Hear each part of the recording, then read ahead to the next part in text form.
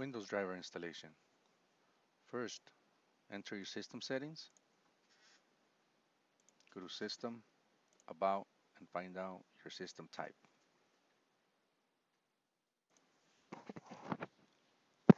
Go to our website and download the necessary Windows driver. In this case, we'll be downloading the uh, and installing the FC8600 Windows driver. It is the same process for both CE and FC models.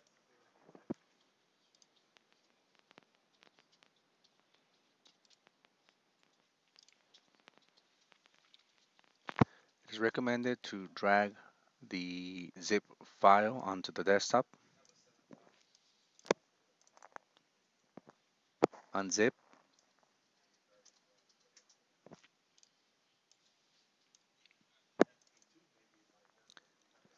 Choose the correct folder based on your system.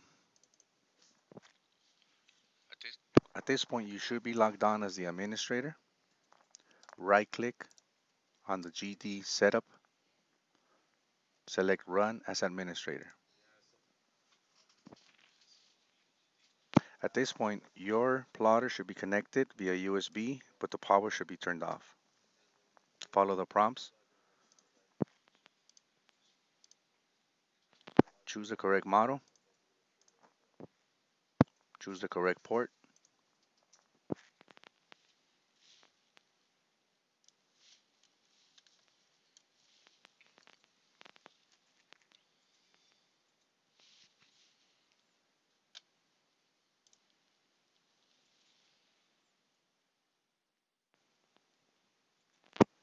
Turn the power on.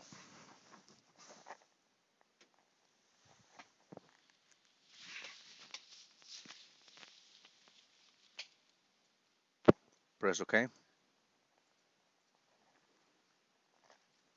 You should be seeing the icon loading down at the bottom of your screen or just open your devices and printers folder to check the progress. Windows driver installed.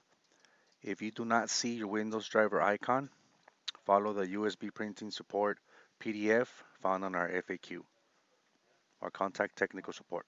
Thank you.